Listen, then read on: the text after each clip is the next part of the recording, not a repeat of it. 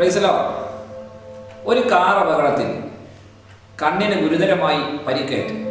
രണ്ട് കണ്ണിന് കാഴ്ച നഷ്ടപ്പെട്ട ഒരു യുവതി വളരെ നിരാശയോടെ ഭവനത്തിന്റെ അകത്തിരിക്കുകയാണ് എന്നാൽ ചില മാസങ്ങൾ കഴിഞ്ഞപ്പോൾ തന്നെ സന്ദർശിക്കാൻ വന്നവർ ആദ്യം കണ്ടതുപോലല്ല ഈ സഹോദരിയെ പിന്നെ കണ്ടത്.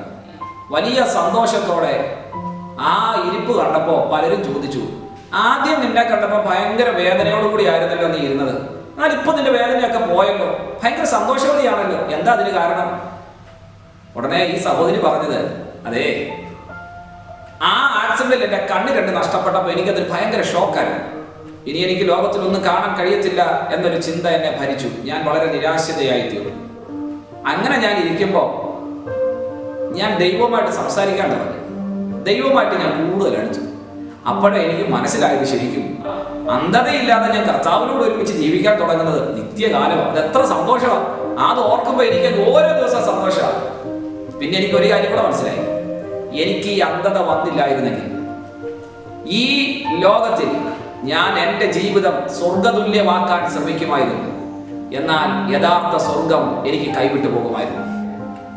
ഇസ്രായേൽ മക്കൾ മരുഭൂമിയിലൂടെ യാത്ര ചെയ്തപ്പോൾ മരുഭൂമിയിൽ ഒത്തിരി പ്രശ്നങ്ങൾ ഉണ്ടായിരുന്നു പക്ഷേ ആ മരുഭൂമിയെ ദൈവം മലർവാടിയാക്കി കൊടുത്തൊന്നുമില്ല.